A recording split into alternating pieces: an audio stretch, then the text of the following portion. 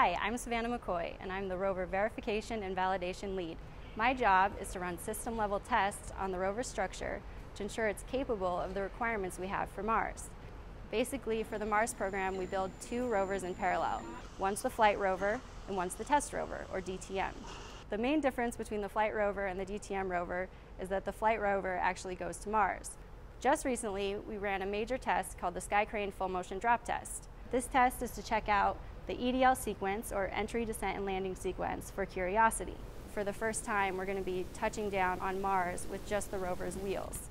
So this is the sequence leading up to that touchdown on Mars.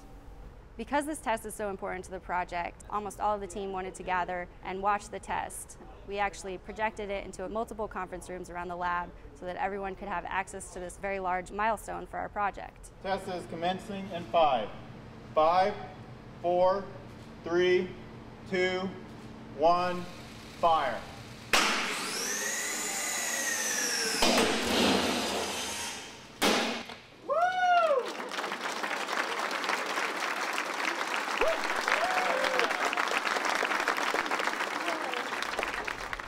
The reason we do all this testing is to prove that what we think is going to happen actually will happen when Curiosity gets to Mars, and that we really understand the dynamics of these vehicles.